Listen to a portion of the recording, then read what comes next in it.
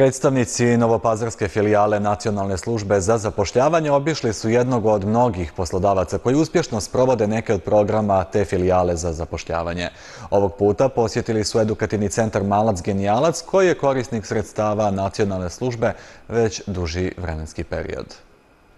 Edukativni centar Malac Genijalac postoji od 2017. godine i vrlo brzo su počeli da koriste sredstva filijale Nacionalne službe za zapošljavanje iz Novog pazara. Ova škola u Novom pazaru posla od 2017. godine i sa povećanjem obima posla stekla se i mogućnost za zapošljavanje novih lica. E, tu nam je od velike pomoći bila Nacionalna služba za zapošljavanje, pa smo stoga u periodu od 2019. koristili nekoliko olakšica e, od Nacionalne službe za zapošljavanje. Između ostalih je e, program Moja prva plata, program Stručna praksa i trenutno koristimo program pripravnika.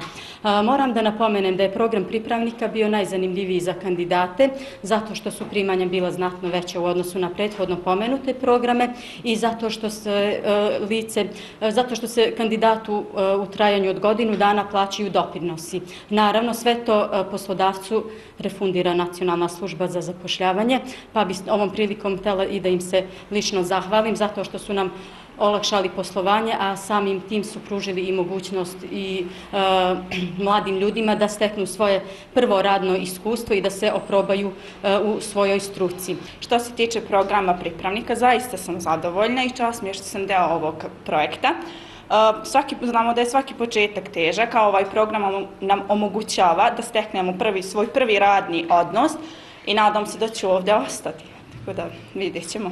Za sada I, zadovoljna? Da, za sada sam zadovoljna i zahvalila bi se nacionalnoj službi za zapošljavanje što mi je pružila priliku da osnovim svoj prvi radni atos.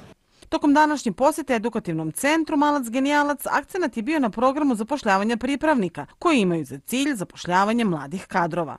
Ja moram da kažem da su na raspolaganju poslodavcima još uvek programi pripravnika sa visokom, a posebno da stavim akcenat sa srednjom stručnom spremom.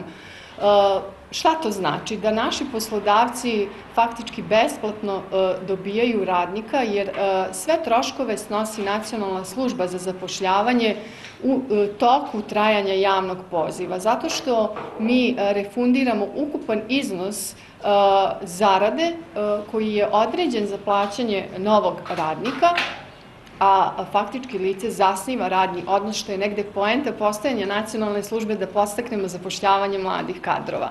Najveći broj javnih poziva nacionalne službe i dalje je otvoren, pa su nadležni apelovali na sve poslodavce da se prijave i zaposle što veći broj kadrova.